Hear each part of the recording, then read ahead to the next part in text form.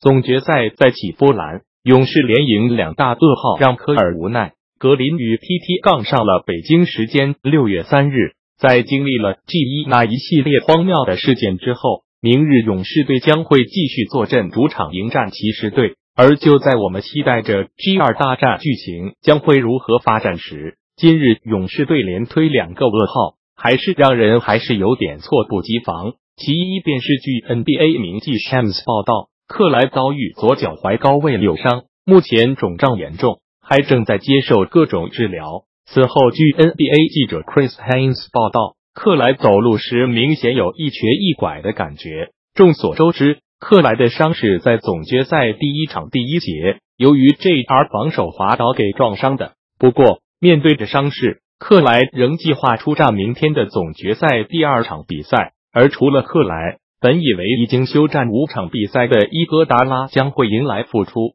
但据科尔透露，伊戈达拉明日仍出战，成以 doubtful 百分之二十五出战可能。科尔说道：“他现在在每日观察名单中，他每天都感觉更好一些，但是明天是否能够出战还不得而知。而更为重要的是，据另一名跟队记者 Mark Medina 报道，伊戈达拉今天没有出现在训练场上。”很显然，从目前一切状况来看，伊戈达拉 G 二出战的可能性显然是极低的。伊戈达拉出战可能性极低，克莱的伤势又不容乐观。不得不说，目前勇士死亡五小阵容无法全员出战，真的让科尔有些许无奈了。而相对于球队的伤病，格林今日在接受采访时却依旧给骑士队放着狠话。面对着 G 一骑士队 TT 挑衅，格林说道。